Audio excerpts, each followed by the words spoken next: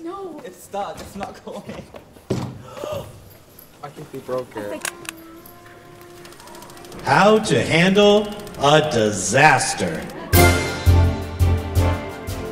In every businessman's career, there are times when things go a bit wrong.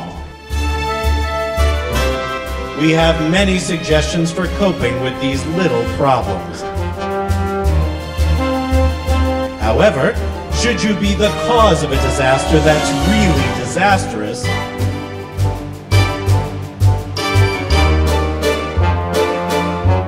we suggest that your best bet is to review the first chapter of this book, How to Apply for a Job.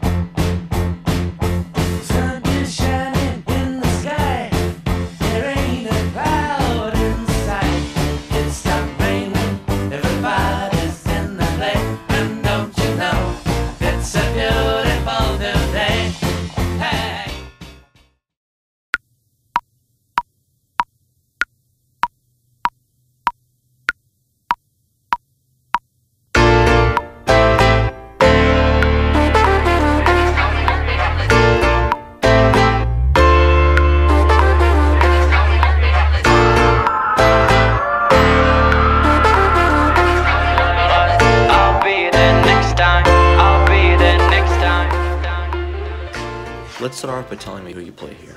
I'm playing Mr. Twimble. Um, I'm the dance captain. Um, I'm an ensemble character. I'm James. I play Tackaberry, best character in the entire show. I'm Brianna, and I'm Miss Krumholtz. Crummy. She is crummy. My name is Serena. I'm Serena. Hi. And what do you do? Um, I am ensemble. I don't really do anything. I'm Trem and I'm Jenkins. I have ever seen with Tackaberry. Yeah, sometimes we're just there. What is the biggest challenge you had to take on this role? Being old.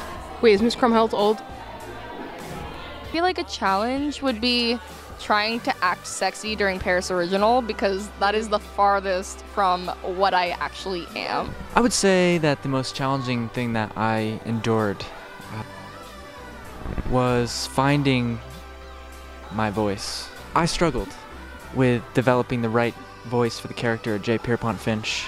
The original voice sounded a little something like this. Oh, Mr. Biggley, I enjoyed that very much. Which sounded stupid. What do you love the most about your character? What do I love the most? Um, that I'm so much like him. That's not good. I like how my character is very bland. Smitty comes across as a relatively tame character, but I, I get a little saucy a, li- a little bit later in the show. I've been thinking of starting a rumor that I'm a nymphomaniac. I like that. I think it's funny. I love my name. I mean, what's Tackaberry? You don't know, I don't know. Let's keep it that way. Ensemble's pretty cool, I guess. How do you manage the balance of playing and studying? Okay. Um. For the most part, this is the only thing I do around this time of year. See, well, that begs the question if I study. And studying? I don't. I have absolutely no social life. I don't do anything. I procrastinate and don't get my homework done. I sleep before and after the show, so uh, nothing. Uh, just skip your homework, do your homework like while the teacher's like coming around and like collecting it. Chemistry. That's a good one. Yeah. It's, sorry, Dr. Mukherjee. I do my homework in class. Any other questions? Who in the show is most like the character? Most like their character? You have to expose Oh.